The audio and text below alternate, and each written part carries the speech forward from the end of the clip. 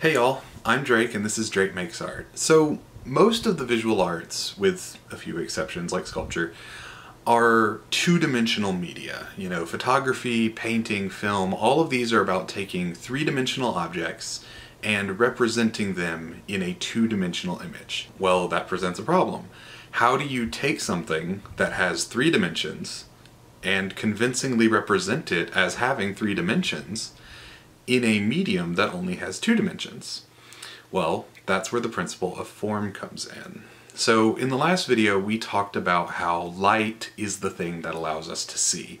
You know, light hits an object, bounces off of it, and that light reaches our eyes, and that's how we're able to see the object. Well, when light strikes a surface, its angle of reflection is equal to its angle of incidence, which is just a fancy technical way of saying that its outgoing angle is equal to its incoming angle. So what does this mean for us as artists? Well, when light strikes a three-dimensional surface that isn't entirely flat, some of the light bounces directly into our eyes, but then some of the light also bounces off and is just lost. Like it doesn't make it to our eyes. The amount of light that is lost is relative to a number of different factors, including the angle of the light source and the distance between the surface and your eye. Let's look at a practical example. This cylinder is lit by a light source above and slightly to the left. If we take a vertical and horizontal cross section of this image, we can model how the light bounces off of it. You'll notice that the areas where the most light is bouncing to the camera are the areas that appear the brightest, while the areas where the light is bounced away and lost appear darker. If we apply a false color map to the object, the effect becomes more obvious. The process of creating this transition from light to shadow is called shading.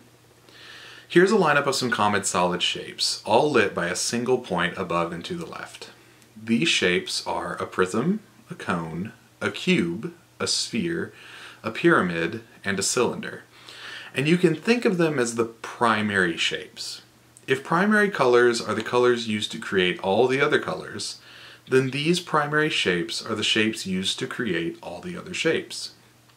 Even organic shapes can be broken down into these primaries, which means that knowing how to shade them properly is imperative to creating convincing three-dimensional images in two-dimensional space.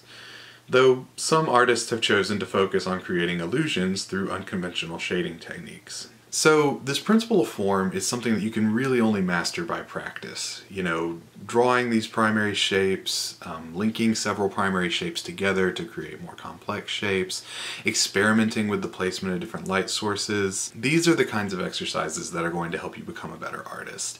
And if you can do the reverse, you know, if you can take an image or an object and break it down into its primary shapes and figure out where it's lit, then you'll have a leg up when it comes time to compose your own images, you know. So I would encourage you to look at images and practice breaking them down into their simplest shapes and figuring out where their lighting is.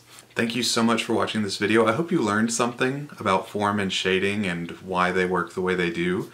Um, if you enjoyed this video, please be sure to check out my other videos on the fundamentals of visual art and subscribe if you like this kind of content. You know, if, if you're looking for content on why art works the way it does, as well as just exploring the creative process of creating art pieces, then uh, I hope you'll give this video a like and subscribe to this channel. Um, thanks again for watching, and I hope I'll see you next time when we make something new. Bye.